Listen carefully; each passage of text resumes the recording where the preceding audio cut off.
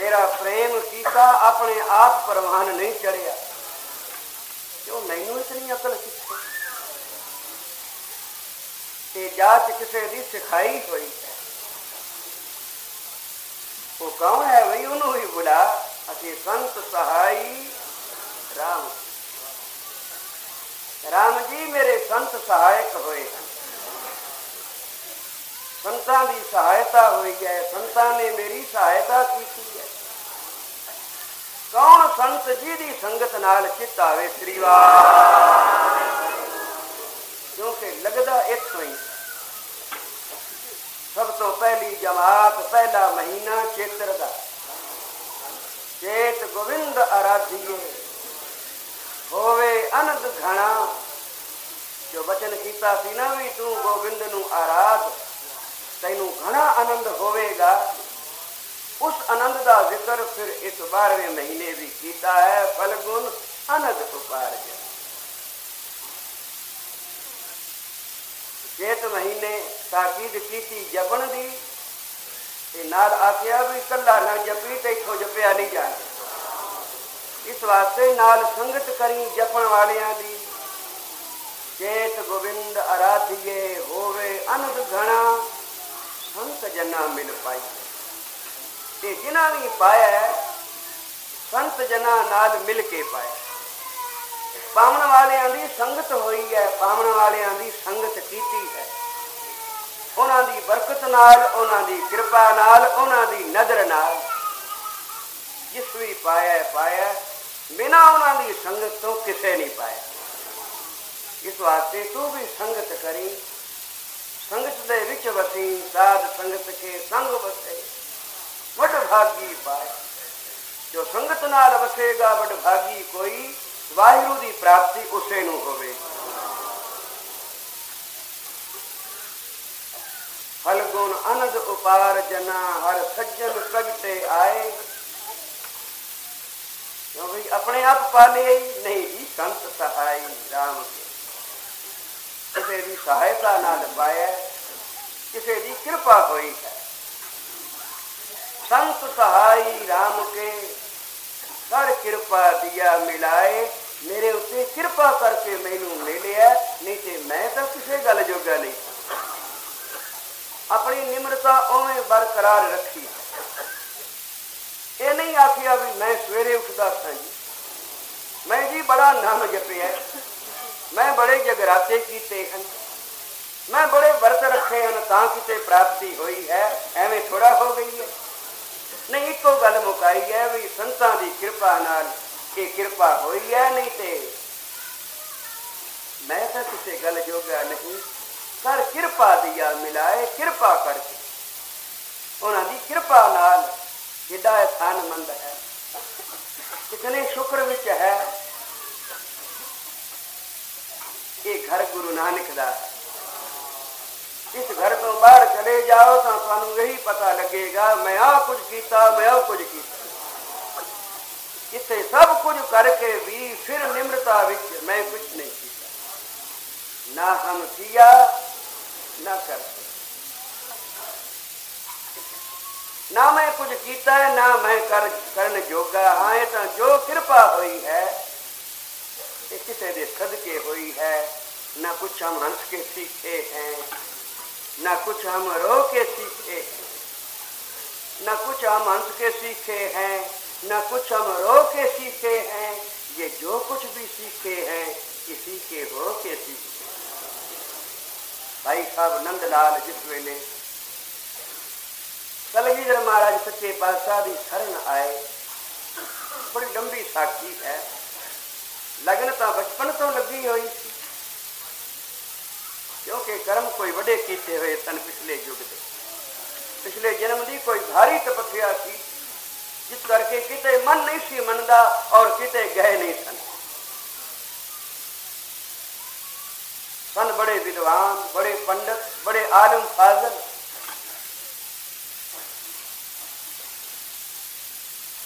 ਬਾਦਸ਼ਾਹ ਦੇ ਪੁੱਤਰ ਨੂੰ ਪੜਾਉਂਦੇ ਸਨ। ਇੱਕ ਵਾਰੀ ਬਾਦਸ਼ਾਹ ਦਾ ਪੁੱਤਰ ਆਇਆ, ਉਸਨੇ ਆਖਿਆ, ਜੀ, ਅੱਜ ਅੱਜ ਬਾਦਸ਼ਾਹ ਦੇ ਦਰਬਾਰ ਵਿੱਚ ਇੱਕ ਮਸਲਾ ਪੈਦਾ ਹੋ ਗਿਆ, ਪਰ ਕਿਸੇ ਨੂੰ ਹੱਲ ਕਰਨਾ ਆਇਆ ਨਹੀਂ। ਭਾਈ ਸਾਹਿਬ ਨੇ ਪੁੱਛਿਆ, ਕਿਹੜਾ ਮਸਲਾ? ਜਾਂ ਉਹਨੇ ਦੱਸਿਆ, ਤਾਂ ਭਾਈ ਸਾਹਿਬ ਨੇ ਆਖਿਆ ਇਸ ਦਾ ਮਤਲਬ ਤਾਂ ਇਹ ਹੈ, ਅਗਲੇ ਦਿਨ ਫਿਰ ਜਿਸ ਵੇਲੇ ਬਾਦਸ਼ਾਹ ਦੀ ਮਹਿਫਲ ਲੱਗੀ, ਸਾਰੇ ਦਰਬਾਰੀ ਇਕੱਠੇ ਹੋਏ ਕੱਲ ਵਾਲਾ ਮਸਲਾ ਫਿਰ ਛਿੜਿਆ ਕਿਸੇ ਨੂੰ ਜਵਾਬ ਨਾ ਆਇਆ, ਤਾਂ ਬਾਦਸ਼ਾਹ ਦੇ ਪੁੱਤਰ ਨੇ ਉੱਥੇ ਆਖਿਆ, ਜੀ, ਇਹ ਤਾਂ ਗੱਲ ਮਾਮੂਲੀ ਹੈ।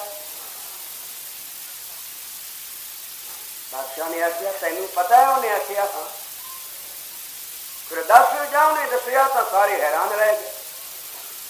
ਬਾਦਸ਼ਾਹ ਨੇ ਪੁੱਛਿਆ, ਤੈਨੂੰ ਪਤਾ ਕਿੱਥੋਂ ਲੱਗਾ ਉਹਨੇ ਆਖਿਆ, ਮੈਨੂੰ ਮੇਰੇ ਪੜਾਉਣ ਵਾਲੇ ਨੇ ਦੱਸਿਆ। ਨੰਦ ਲਾਲ ਨੇ ਜਿਹੜੇ ਸੱਚੇ ਸਨ, ਉਹ ਤਾਂ ਪ੍ਰਸੰਨ ਹੋਏ। ਪਰ ਜਿਹੜੇ ਝੂਠੇ ਸਨ, ਉਹ ਜਲ ਗਏ। ਇਹ ਹੁਣ ਨੰਦ ਲਾਲ ਦੀ ਚੜ੍ਹਦੀ ਕਲਾ ਹੋਵੇਗੀ, ਅਸੀਂ ਪਿਛਾ ਰਹਿ ਜਾਵਾਂਗੇ। ਤਾਂ ਉਹਨਾਂ ਨੇ ਬਾਦਸ਼ਾਹ ਦੇ ਕੰਨ ਭਰੇ ਕੀ ਫਿਰ ਐਸਾ ਸਮਝਦਾਰ, ਐਸਾ ਵਿਦਵਾਨ ਬੰਦਾ ਕਿ ਕਾਫਰ ਕਿਉਂ ਹੋਵੇ ਇਸ ਨੂੰ ਮੂਮਨ ਕੀਤਾ ਜਾਏ। ਇਹਨੂੰ ਮੁਸਲਮਾਨ ਬਣਾਇਆ ਜਾਏ। ਬਾਦਸ਼ਾਹ ਨੇ ਕਿਹਾ, ਬਹੁਤ ਅੱਛਾ। ਕੱਲ ਸਭਾ ਵਿੱਚ ਸੱਦ ਕੇ ਗੱਲ ਕਰਾਂਗੇ। ਜਿਸ ਵੇਲੇ ਸ਼ਹਜ਼ਾਦਾ ਪੜਨ ਵਾਸਤੇ ਆਇਆ ਤੇ ਬੜਾ ਉਦਾਸ। ਭਾਈ ਸਾਹਿਬ ਨੇ ਪੁੱਛਿਆ, ਕਿਉਂ ਉਦਾਸ ਹੈ? ਉਹਨੇ ਸਾਰੀ ਗੱਲ ਦੱਸੀ ਕਿ ਮੈਂ ਜਿਸ ਵੇਲੇ ਉਹ ਤੁਹਾਡਾ ਜਵਾਬ ਪੇਸ਼ ਕੀਤਾ ਤੇ ਮੂੰਹੋਂ ਤਾਂ ਸਭਨਾ ਦੇ ਵਾਵਾ ਨਿਕਲੀ, ਬਾਦਸ਼ਾਹ ਵੀ ਬੜਾ ਖੁਸ਼ ਹੋਇਆ। ਪਰ ਨਾਲ ਹੀ ਕਈਆਂ ਨੇ ਕੰਨ ਭਰੇ ਤੇ ਐਸਾ ਵਿਦਵਾਨ, ਐਸਾ ਪੰਡਿਤ ਏਡਾ ਆਲਮ ਫਾਜ਼ਿਲ ਬੰਦਾ ਕਾਫਰ ਨਾ ਰਹੇ, ਇਸ ਨੂੰ ਮੁਸਲਮਾਨ ਕੀਤਾ ਜਾਏ। ਜੀ ਕੱਲ ਤੁਹਾਡੇ ਤੇ ਫਤਵਾ ਲੱਗੇਗਾ ਤੁਸੀਂ ਮੁਸਲਮਾਨ ਬਣਾਏ ਜਾਓ ਭਾਈ ਸਾਹਿਬ ਨੇ ਆਖਿਆ ਇਹ ਗੱਲ ਤਾਂ ਚੰਗੀ ਨਾ ਕੋਈ ਮੇਰੀ ਮਦਦ ਕਰ ਸਕਣਾ ਹੈ ਸ਼ਹਜ਼ਾਦੇ ਨੂੰ ਆਖਿਆ ਉਹਨੇ ਆਖਿਆ ਜਿਹੜੀ ਆਖੋ ਕਹਿਣ ਲੱਗੇ ਫਿਰ ਤੂੰ ਮੈਨੂੰ ਰਾਤ ਰਾਤ ਇਥੋਂ ਤੋਰ ਦੇ ਔਰ ਮੇਰਾ ਕਿਤੇ ਜ਼ਿਕਰ ਨਾ ਕਰ ਉਤੋਂ ਫਿਰ ਰਾਤੀ ਭਾਈ ਸਾਹਿਬ ਤੁਰੇ ਜਿਹੜਾ ਸੀ ਨਾ ਨਾਲ ਮੁਸਲਮਾਨ ਨੌਕਰ ਉਹਨੂੰ ਜਿਸ ਵੇਲੇ ਛੱਡਣ ਲੱਗੇ ਤਾਂ ਉਹ ਰੋ ਪਿਆ, ਉਹਨੇ ਪੈਰ ਫੜ ਲਏ। ਉਹਨੇ ਆਖਿਆ, ਤੂੰ ਮੇਰਾ ਮੁਰਸ਼ਿਦ ਹੈ। ਤੂੰ ਮੇਰਾ ਮਹਾਂਪੁਰਖ ਹੈ। ਮੈਂ ਤੈਨੂੰ ਰੱਬ ਜਾਣ ਕੇ ਪੂਜਿਆ ਮੈਨੂੰ ਵਿਛੋੜਾ ਨਾ ਦੇ, ਮੈਨੂੰ ਨਾਲ ਲੈ ਭਾਈ ਸਾਹਿਬ ਨੂੰ ਤਰਸ ਆ ਗਿਆ, ਚੰਗਾ, ਚੱਲ ਭਾਈ। ਇਹ ਫਿਰ ਮੁਸਲਮਾਨ ਨੌਕਰ ਭਾਈ ਸਾਹਿਬ ਦਾ, ਜਿਸ ਮਨ ਅੰਦਰ ਭਾਈ ਸਾਹਿਬ ਦੀ ਬੜੀ ਸਰਦਾ ਸੀ ਇਹ ਵੀ ਨਾਲ ਚਲਿਆ। ਤੇ ਭਾਈ ਸਾਹਿਬ ਚਲਦੇ ਚਲਦੇ ਚਲਦੇ ਮੁਲਤਾਨ ਪਹੁੰਚੇ ਇੱਥੇ ਫਿਰ ਸਿਫਤਾਂ ਸੁਣੀਆਂ, ਕਲਗੀਧਰ ਪਾਤਸ਼ਾਹ ਦੀਆਂ। ਤੇ ਮਨ ਵਿੱਚ ਆਖਦਾ, ਸੁਣਦਾ ਤੇ ਬੜਾ ਕੁਝ ਹਾਂ, ਪਰ ਵੇਖਾਂ ਤਾਂ ਪਤਾ ਲੱਗੇ। ਤੇ ਜਿੱਦਨ ਫਿਰ ਭਾਈ ਸਾਹਿਬ ਨੇ ਦਿਖਾ ਜੈਸਾ ਸਤਗੁਰ ਸੁਣੀਦਾ, ਐਸੋ ਹੀ ਮੈਂ ਦੀਤ ਉਸ ਵੇਲੇ ਭਾਈ ਸਾਹਿਬ ਨੇ ਕਲਗੀਧਰ ਮਹਾਰਾਜ ਸੱਚੇ ਪਾਤਸ਼ਾਹ ਦੇ ਚਰਨ ਪਕੜ ਸਜਦਾ ਕੀਤਾ ਮੱਥਾ ਟੇਕਿਆ ਤੇ ਉਸ ਮੁਸਲਮਾਨ ਨੌਕਰ ਨੂੰ ਜਿਹੜਾ ਨਾਲ ਆਇਆ ਸੀ ਉਹਨੂੰ ਆਖਿਆ ਤੇ ਕੋਈ ਮੱਥਾ ਰੱਬ ਬੈਠੇ ਹੀ ਸਾਹਮਣੇ ਤੇ ਉਸਨੇ ਕਲਗੀਧਰ ਪਾਤਸ਼ਾਹ ਦੀ ਬੜੀ ਸਵਾਦ ਕਿਤਨੀ ਸੰਗਤ ਬੈਠੀ ਸੀ ਮੱਥਾ ਟੇਕਿਆ ਨੰਦ ਲਾਲ ਨੂੰ ਕਹਿਣ ਲੱਗਾ ਮੇਰਾ ਰੱਬ ਤਾਂ ਤੂੰ ਨੰਦ ਲਾਲ ਗੁੱਸਾ ਆਇਆ। ਏਡੀ ਬੇਅਦਬੀ, ਏਡੀ ਗੁਸਤਾਖੀ। ਮੇਰੇ ਬਾਦਸ਼ਾਹ ਦੇ ਸਾਹਮਣੇ ਤੂੰ ਮੈਨੂੰ ਮੱਥਾ ਟੇਕ ਰਹੇ ਹੈ। ਤੇ ਮੁਸਕਰਾਏ ਤੇ ਹੱਸੇ, ਕਹਿਣ ਲੱਗੇ ਨੰਦ ਲਾਲ ਉਹਨੇ ਠੀਕ ਆਖਿਆ। ਉਹਨੇ ਤੇਰੇ ਵਿੱਚ ਸਹੀ ਕੀਤਾ। ਉਹਨੇ ਤੇਰੇ ਵਿੱਚ ਦਿੱਤਾ ਕਿ ਤੇਰੇ ਵਿੱਚ ਕੌਣ ਬੈਠਾ ਨੰਦ ਲਾਲ ਭਾਈ ਸਾਹਿਬ ਕਹਿਣ ਲੱਗੇ, ਤੂੰ। ਤੇ ਫਿਰ ਕੀ ਫ਼ਰਕ ਪੈਂਦਾ? ਫ਼ਰਕ ਤਾਂ ਪੈਂਦਾ ਜੇ ਉਹ ਤੇਰੇ ਪੈਰੀ ਪਵੇ ਤੇ ਤੂੰ ਉਸ ਨੂੰ ਵਿਛੋੜ ਕੇ ਕਿਤੇ ਹੋਰ ਤੇ ਸੁੱਤੇ। ਜਹਾਜ਼ ਨਾਲ ਬੇੜੀ ਵੱਧੀ ਹੈ ਤੇ ਬੇੜੀ ਵਿੱਚ ਜਿਹੜਾ ਬੰਦਾ ਬੈਠਾ ਉਹ ਵੀ ਤਾਂ ਜਹਾਜ਼ ਦੇ ਮਗਰ ਹੀ ਜਾ ਰਿਹਾ। ਹਾਂ, ਜੇ ਬੇੜੀ ਦਾ ਰਸਤਾ ਟੁੱਟ ਜਾਏ ਤਾਂ ਵਿਛੜ ਜਾਏ। ਦੋ ਗੱਲਾਂ ਬੰਦਾ ਨਾ ਕਰੇ। ਇੱਕ ਰਸੇ ਨੂੰ ਨਾ ਕੱਟ ਟੁੱਟੇ ਕਿਸੇ ਵੇਲੇ, ਇੱਕ ਜਾਣ ਕੇ ਸਮੁੰਦਰ ਵਿੱਚ ਛਾਲ ਨਾ ਮਾਰ ਦੇ ਤੇ ਫਿਰ ਜਹਾਜ਼ ਨਾਲ ਬੇੜੀ ਬੱਤੀ ਹੋਵੇ ਤੇ ਵਿੱਚ ਕੋਈ ਵੀ ਬੈਠਾ ਹੋਵੇ ਉਹ ਜੈਸੇ ਜਹਾਜ਼ ਵਾਲੇ ਪਾਰ ਉਤਰਨਗੇ ਵੈਸਾ ਉਹ ਬੇੜੀ ਵਾਲਾ ਵੀ ਪਾਰ ਪਹੁੰਚੇਗਾ ਸਾਧ ਸੰਗਤ ਬੋਲੋ ਸ੍ਰੀ ਸਾਹਿਬ ਬੜੇ ਪ੍ਰਸੰਨ ਹੋਏ ਉਸ ਮੁਸਲਮਾਨ ਨੌਕਰ ਨੂੰ ਬੜੇ ਪਾਪੜੇ ਬੜੀ ਬਖਸ਼ਿਸ਼ ਕੀਤੀ ਸਾਧ ਸੰਗਤ ਗੁੱਸਾ ਨਹੀਂ ਮੰਨਿਆ ਵੀ ਤੂੰ ਨੰਦ ਲਾਲ ਨੂੰ ਪੂਜਿਆ ਤੇ ਮੈਨੂੰ ਨਹੀਂ ਆਖਿਆ ਰੱਬ ਆਖਿਆ ਇਹ ਘਰ ਗੁਰੂ ਨਾਨਕ ਦਾ ਜੇ ਤੂੰ ਨੰਦ ਲਾਲ ਨੂੰ ਵਿਚੋਲਾ ਖੜਾ ਕਰਕੇ ਆਖਿਰ ਮੇਰੇ ਤੱਕ ਹੀ ਪਹੁੰਚਣੀ। ਕਿਉਂਕਿ ਨੰਦ ਲਾਲ ਜੋ ਮੇਰੇ ਤੱਕ ਪਹੁੰਚਿਆ। ਜਿਵੇਂ ਬਾਬਾ ਜੀ ਨੂੰ ਹਜ਼ੂਰ ਸਾਹਿਬ ਹਿਦਾਇਤ ਹੋਈ, ਜਾਓ ਮਹਾਂਪੁਰਖਾਂ ਦਾ ਦਰਸ਼ਨ ਕਰੋ। ਕਿਉਂਕਿ ਸਾਡੀ ਮਰਿਆਦਾ ਇਹ ਕਿ ਸੰਤ ਸਹਾਈ ਰਾਮ ਕੇ ਉਹਨਾਂ ਦੀ ਸਹਾਇਤਾ ਨਾਲ ਹੋਏ ਮਿਲ ਤਾਂ ਪਹਿਲਾਂ ਪਏ, ਦਰਸ਼ਨ ਵੀ ਦਿੱਤੇ, ਠੰਡ ਵੀ ਪਾ ਦਿੱਤੀ। ਨਿਹਾਲ ਵੀ ਕਰ ਦਿੱਤਾ ਪਰ ਨਾਲ ਆਖਿਆ ਮਰਿਆਦਾ ਵਿੱਚ ਚਲੋ ਸਾਡੀ ਮਰਿਆਦਾ ਇਹ ਹੈ ਮਹਾਂਪੁਰਖ ਦਾ ਪੱਲਾ ਪਕੜ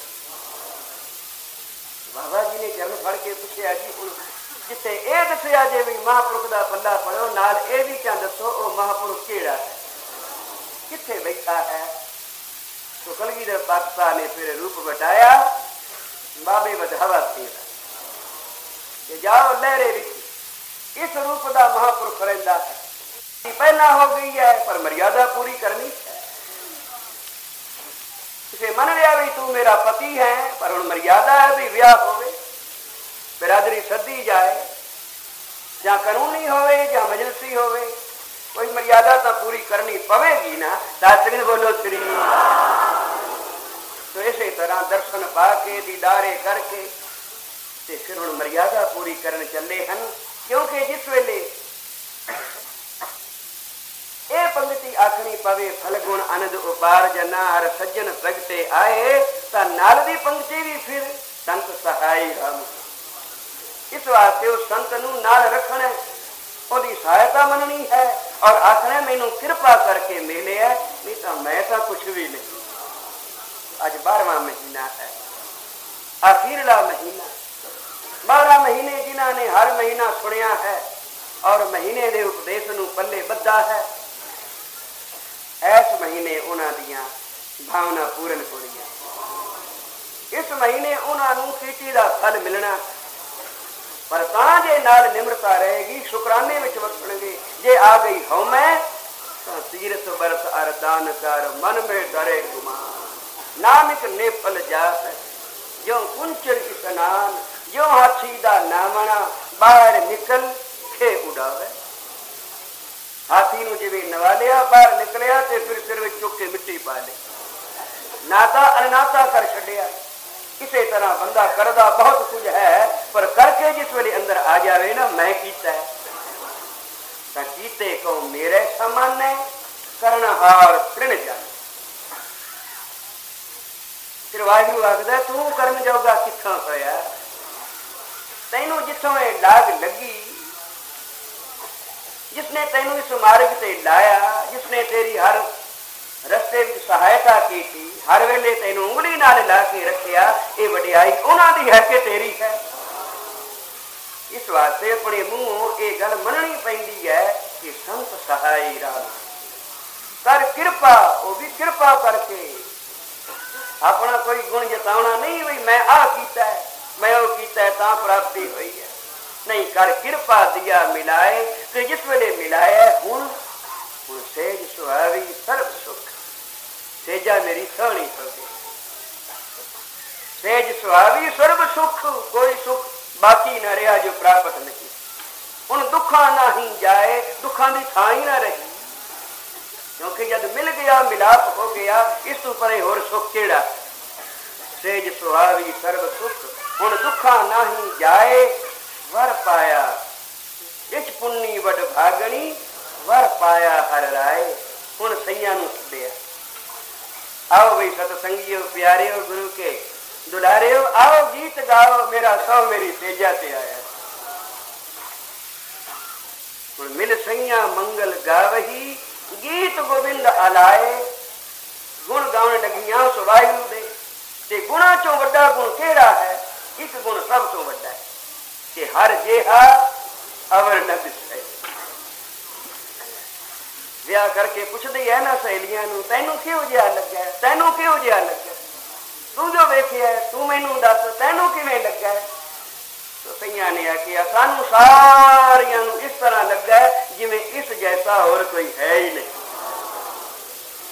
ਹਰ ਜਿਹਾ ਅਵਰ ਨ ਦਿਸਈ ਕੋਈ ਦੂਜਾ ਲਵੇ ਨਾ ਲਾਏ, ਕੋਈ ਇਸ ਦੀ ਬਰਾਬਰੀ ਕਰਨ ਜੋਗਾ ਹੈ ਹੀ ਨਹੀਂ। ਕੋਈ ਇਸ ਦੇ ਲਵੇ ਲੱਗਣ ਵਾਲਾ ਨਹੀਂ ਕਿਸੇ ਨੂੰ ਆਖੀਏ ਫਲਾਣੇ ਵਰਗਾ ਹੈ ਜਾਂ ਫਲਾਣਾ ਇਹਦੇ ਵਰਗਾ ਹੈ ਨਹੀਂ ਇਸ ਵਰਗਾ ਇਹ ਆਪ ਜਿਵੇਂ ਸਾਹਿਬ ਨੇ ਆਖਿਆ ਤੁਧ ਜੇਵੜ ਤੂੰ ਹੈ ਪਾਰ ਬ੍ਰਹਮ ਇਹ ਪਾਰ ਬ੍ਰਹਮ ਤੇਰੇ ਵਰਗਾ ਤੂੰ ਆਪ ਹੈ ਤੁਧ ਜੇਵੜ ਤੂੰ ਹੈ ਪਾਰ ਬ੍ਰਹਮ ਨਾਨਕ ਸ਼ਰਨ ਆਈ ਤੋ ਮਿਲ ਸਈਆ ਮੰਗਲ ਗਾਵਈ ਗੀਤ ਗੋਬਿੰਦ ਆਲਾਏ ਹਰ ਜਿਹਾ ਅਵਰ ਨ ਦਿਸਈ ਕੋਈ ਦੂਜਾ ਲਵੇ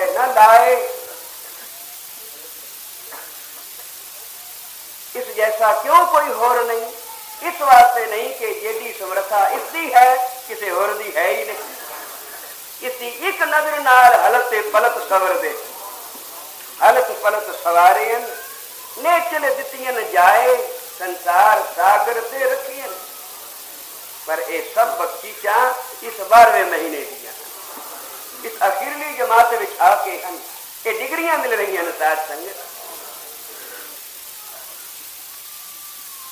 पलत पलत नेत्र नेतर दिपियन जाए, संसार सागर ते रखियन बौर न जन्मे टाए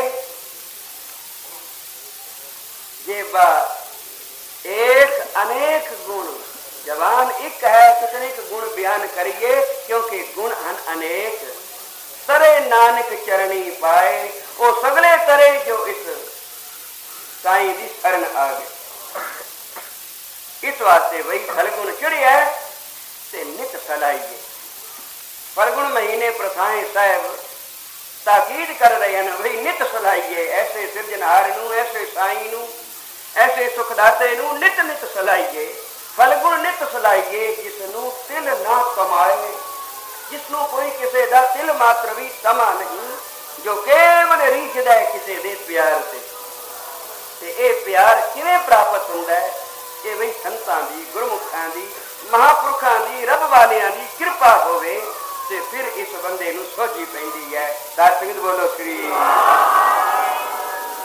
ਹੁਣ ਸ਼ੁਕਰਾਨੇ ਵਿੱਚ ਨੇਤਰ ਭਰ ਕੇ ਆਪਣੇ ਸੇਜਾ ਵੱਲ ਤੱਕਦੀ ਹੈ, ਕਦੇ ਆਪ ਨੂੰ ਵੇਖਦੀ ਹੈ, ਕਦੇ ਆਪਣੇ ਸਾਈ ਨੂੰ ਵੇਖ ਕੇ ਨਿਹਾਲ ਹੋ ਕੇ ਕਹਿੰਦੀ ਹੈ, ਮੇਰੀ ਸੇਜੜੀ